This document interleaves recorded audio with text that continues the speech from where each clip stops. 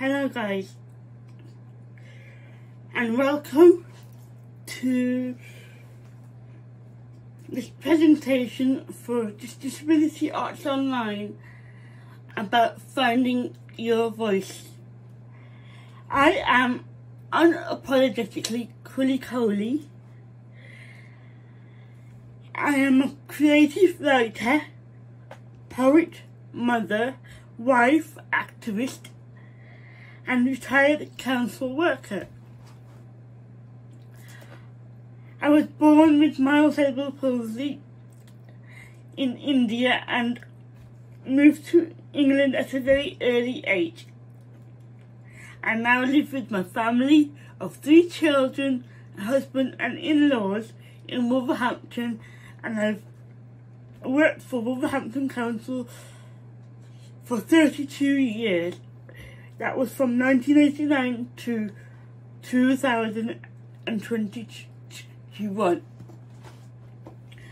I will be sharing with you today how I progressed from a diary writer and scribbler to becoming a published poet. The steps that were taken, of finding a mentor and joining a writing group which finally led to me fi finding my voice. Now poetry has been a very important aspect for me for expressing myself personally, emotionally and getting the people around me to realize that there is somebody sensitive in living in my body. I was born with mild cerebral palsy and throughout my childhood and teenage years I was ashamed of myself. I wanted to be normal all the time but I didn't know myself what normal was. I've had a passion for writing since childhood. Writing has opened all kinds of possibilities for me. As I struggle to express myself because of my disability. Having the ability to write has made my life more rewarding and richer. Now sharing your voice and views to complete strangers can be a very scary process, but also a very rewarding one. At first, I was petrified. I used to think that I could not speak in front of, on, on a stage and I used to ask my friends to speak on my behalf because I thought people would laugh at me and not want to see me struggling with my speech on the stage. However, I was given a lot, of encouragement and guidance and support by my mentors and family of po poets and writers. I began to perform more to different audi audiences. And slowly, slowly, I began to enjoy it. Because I could see my work was making an impression. I think performing is important because it, because it gives the audience a feel of what the poet and why and what drives them to write. When I sit down on a stage to read my poetry, there's a sudden silence in the room. When I get when I when I get going, the audience start to relax and start to enjoy my poetry And by the end of the performance, the audience have fallen in love with me. The audience genuinely are interested in hearing my poetry and stories. Now my pamphlet, Patchwork, and my full collection, of Wonder Woman, are published by Offa's Press. I now run the Punjabi Women's Writing Group, which was set up in June 2018. This writing group is dedicated to all women of South Asian heritage who live in Wolverhampton and the West Midlands. Over the last few years, we have had successful writing workshops and local performances in Wolverhampton and Iron Ironbridge that have sparked up a lot of interest. I have performed my, my work in West Midlands and universities in London, Berlin and Liverpool. I write a regular blog for Disability Arts Online. I've also performed at the British Museum in London at the Purple Light ev event celebrating International Disabled Persons Day 2019. In 2020, my life story was featured on BBC News Online and read over 1.7 million people and I appeared on BBC One's Sunday morning live show. I have been appointed Poet Laureate of the City of Wolverhampton 2022 to 2024.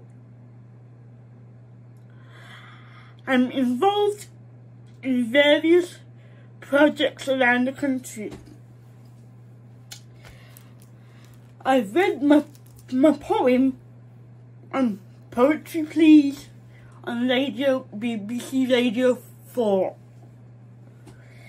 And in April 2022, I was conferred upon to receive an honorary degree of Doctors of Letters by the University of Wolverhampton.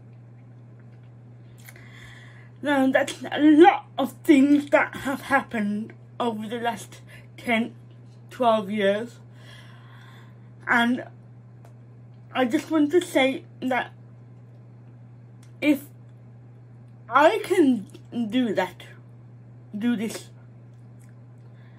so can you. You, you, if you write, if you are an artist, if you want to share your voice, I, I urge you to do it. Please do it. Please do. Now, I'm going to share with you a poem which was my first pub pub publication in 2010. It was the first poem I wrote when I joined Blakenhall Writers and I did it in the first session.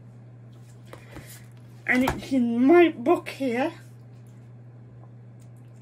Patchwork.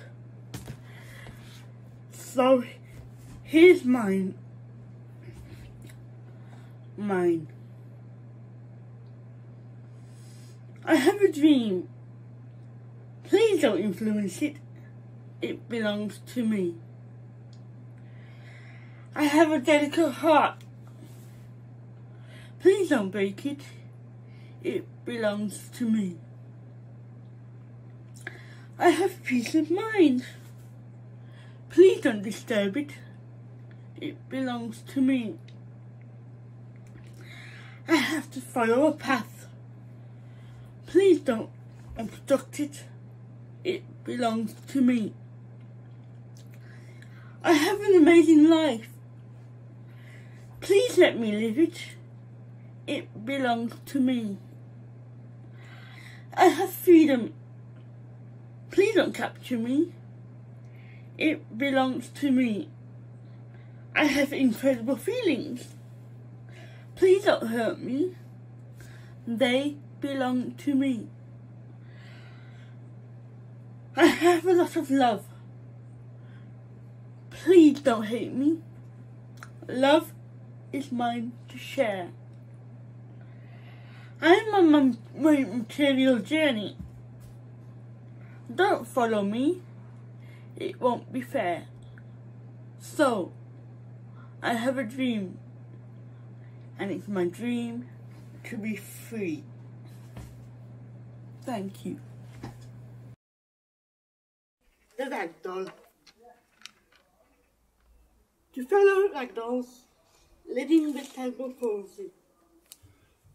Silk, linen, velvet, cotton, wool, made from all sorts, textured fabrics, buttons, ribbons, hips made from zips, whoops a daisy and falling to bits. Her heart is made of golden fluff, her smile stitched shining bright. Now and again she's not there quite, her spirit shines like ultraviolet light.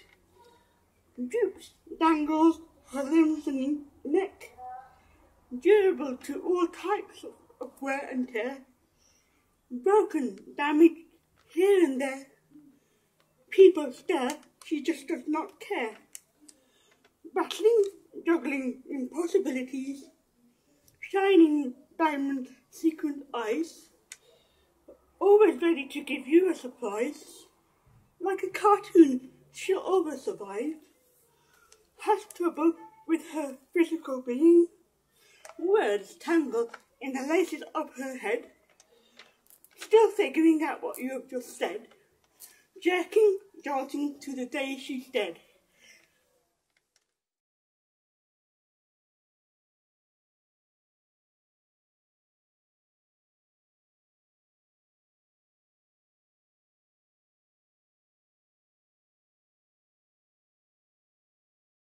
This is an extract of Dangerous Games.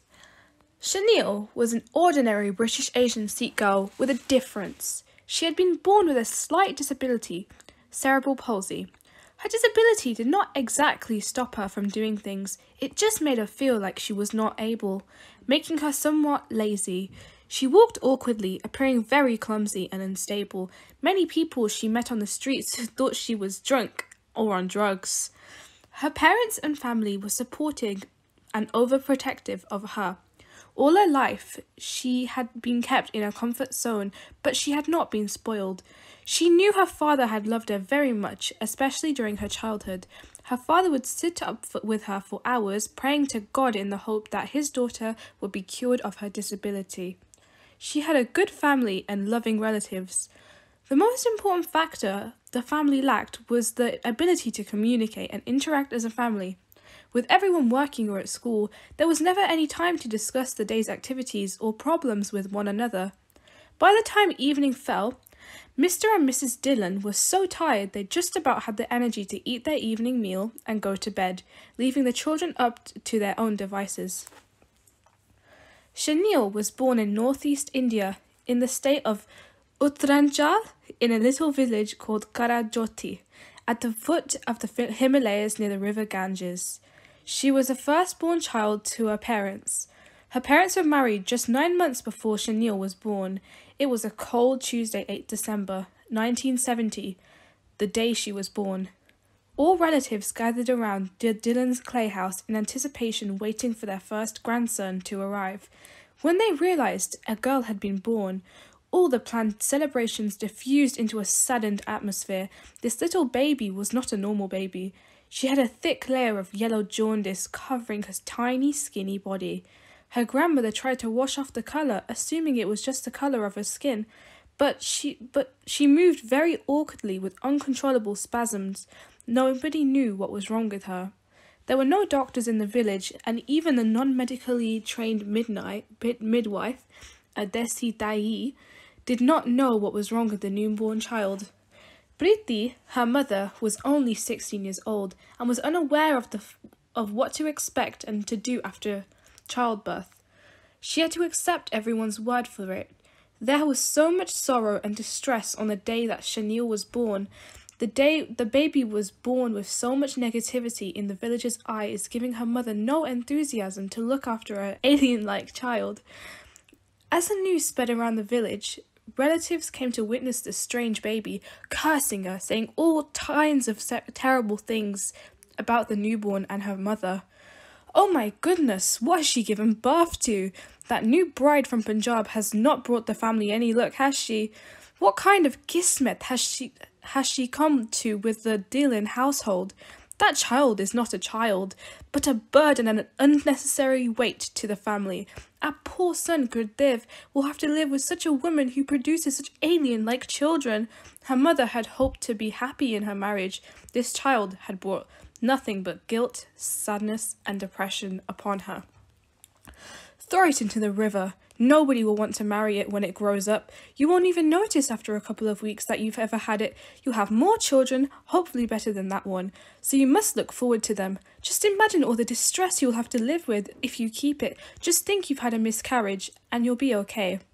They, admi- they advised her mother.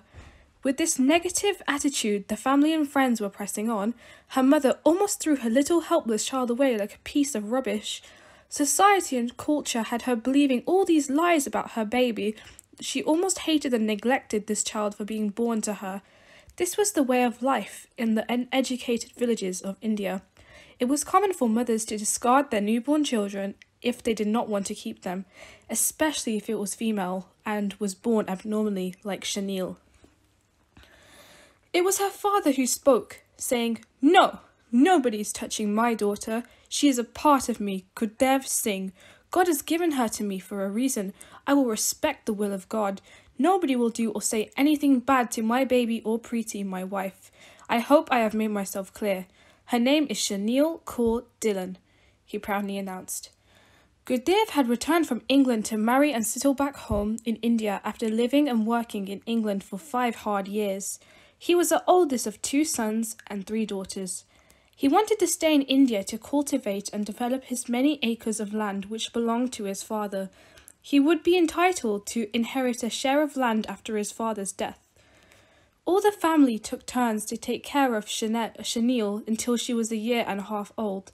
She could not walk or talk and was very slow at picking things up. People still did not know what was medically wrong with her. Her neck dangled like a rag doll. She could not support her head at all. Her awkward movements came like electric pulses, waving her limbs, limb like puppets. Preeti asked her husband, When can we go from here? This is not our home. Our home is where you came from in England. Preeti repeated this mantra day after day like a stubborn child. Please must Please, we must get out of India. Your dad is in England, so why can't we go to live with him there? This village is really making me ill. Preeti visualized a perfect life in England full of glorious things and saintly people. Believe me, our life is meant to be in England. Just think your Chanel might get better over there and we can take her to the doctors and get her checked and seen to and she will get well. Preeti finally convinced her husband to believe she was right and she was wrong to live in India. It was not her it was not only her dream and but many of the people in India long to live abroad and migrate to the Western world for a better quality of life. Then in 70, then in 1972, Chanel and her parents, along with her grandfather, arrived in the heart of England, the Black Country, to begin to live their perfect life. As time had gone by, Chanel began to learn and grow up. She realized that the world around her was not like the world she had lived in for the first 20 years of her life. The thought of this made her want to go out and explore, but this was virtually impossible for her. The protection from her family and the limitations her disability caused were the main reasons she could not explore the world. During her years of schooling, she had not been able to walk to and from school because she and the other students with disabilities had to be escorted by taxi for their own safety as well as the school's insurance policy to protect their vulnerable students from any harm. Many of the children at the school thought she was very lucky getting a taxi, but to her it, had been like a prison sentence. She longed to walk with her friends and do the things that normal children did, like going to detours and getting involved with other children and messing about at the back of the school. At this inquisitive stage, her ordinary Asian lifestyle began to change. What follows is an introduction to Kuli at a Lunch Like the Queen event at Wolverhampton Art Gallery, read by a man in a ceremonial gown. Madam Mayor, ladies and gentlemen, Kuli Kohli was born in India with cerebral palsy and now she lives in Wolverhampton and is married with three children. After working 32 years with the City of Wolverhampton Council, she is now retired and runs the Punjabi Women's Writing Group. Her pamphlet, Patchwork, and her full poetry collection, A Wonder Woman, published by Offa's Press, has been widely admired and she also writes for Disability Arts Online. She has performed her work at universities in London, Berlin, Liverpool, and also the British Museum for the Purple Light Up event celebrating International Disabled Persons Day in 2019. In 2020, Kuli's life story was featured on BBC News Online and was featured on BBC One Sunday Morning Live Show. This year, she has been appointed Poet Laureate of the City of Wolverhampton in 2022.